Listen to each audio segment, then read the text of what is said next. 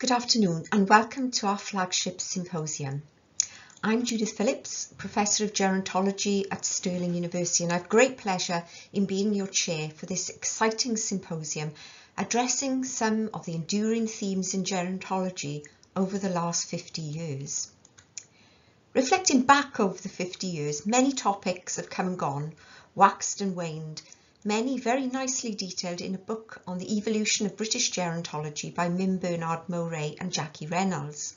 Topics such as caregiving and carers, dementia, health and social care, work and retirement, and social relationships.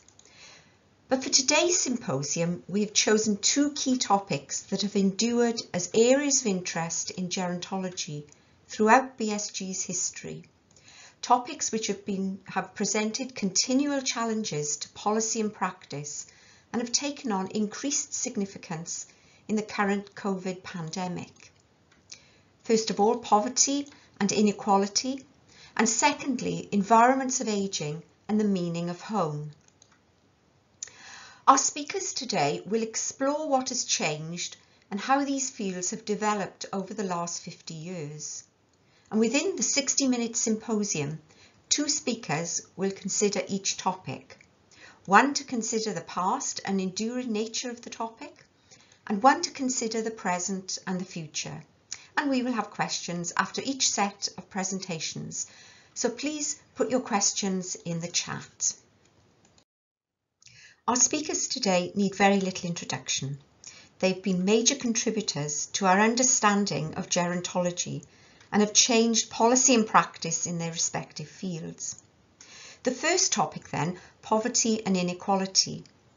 The past will be introduced by Alan Walker, and Alan is Professor of Social Policy and Social Gerontology at the University of Sheffield and co-director of the newly established Healthy Lifespan Institute.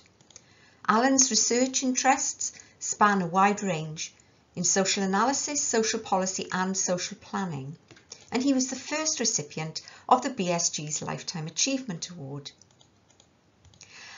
Alan's contribution will look back at the critical issues of poverty and inequality and how gerontological research has contributed to a better understanding of them.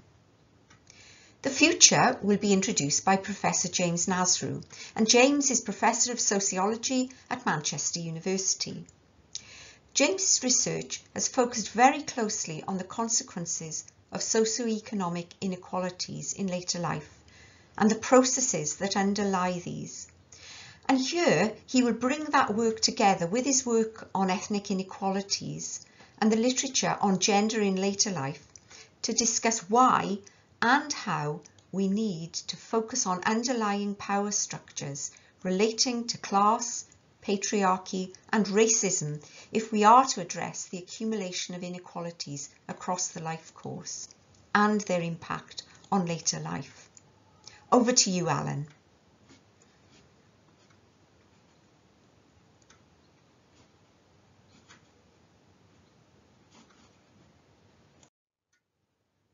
For our second theme then, I'd like to introduce Sheila Peace, Emeritus Professor at the Open University and former President of the BSG.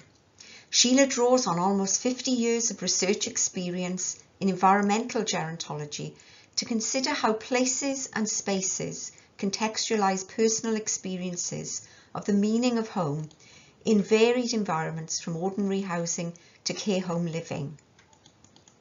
And Dr. Melissa Fernandez Arrigoitia is lecturer in urban futures at Lancaster University.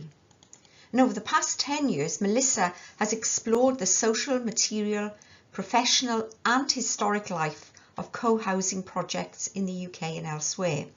And she will share ideas about the possibilities collaborative initiatives hold for a future of greater social connectivity and well-being. Over to you, Sheila. Thank you.